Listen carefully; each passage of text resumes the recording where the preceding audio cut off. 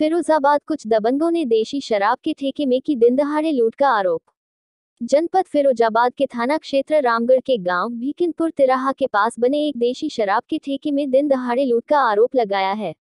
ठेके पर मौजूद सेल्समैन धीरज पुत्र बलवीर सिंह ने बताया कि गाँव भीकनपुर के ही बंटू पुत्र मुन्नालाल व योगेश पुत्र टूरी सिंह ने मेरे ठेके पर आकर मुझसे मेरा नाम पता पूछने लगे। जब मैंने नहीं बताया तो मेरे साथ अभद्रता करने लगे और कहा कि आपको शराब चाहिए तो लो, नहीं तो मेरे दुकान से नीचे उतर जाओ।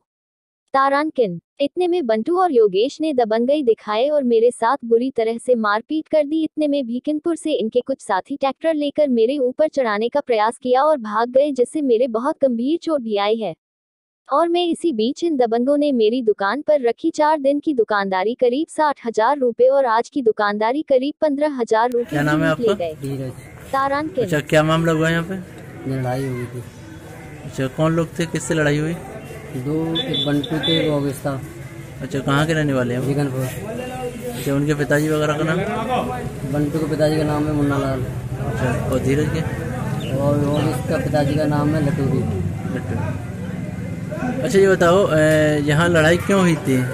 बस ऐसे नाम पूछने के ऊपर हो गई थी। अच्छा, यहाँ नशे से- थे दोनों। अच्छा यहाँ पे कोई फिर लूटपाट भी हुई है या फिर हाँ, लड़ाई झगड़ा हुआ है? चार लोग थे वो। आपके लोगों को मैं जानता नहीं। अच्छा क्या लूट क्या ला, क्या लूटपाट क्या हुई है? कैसे लेकर दो तीन दिन का कैश था इसमें। कितना कैश होगा लगभग? लगभग होगा साठ हज़ार रुपये। साठ हज़ार रुपए साठ हज़ार रुपये और उसके बाद कोई और आज की पूरी दुकानदारी हुई सुबह की। तकरीबन कितनी होगी? आज होगी तो कम से पंद्रह सोलह की तो होगी। से। अच्छा और मारपीट भी हुई आपसे? मारपीट मुझे मारा है जी। पैर फटा है हाथ जी पैंट वगैरह सारा। अच्छा। अच्छा थाना क्षेत्र के कौन सा पड़ता है आपका? रामगढ़। रामगढ़। और ये ये दुकान स्थल क्या है आपका? मैं सेल्समैन मैन हूँ यहाँ सेल्स मैन अच्छा अच्छा। इस जगह का नाम क्या है?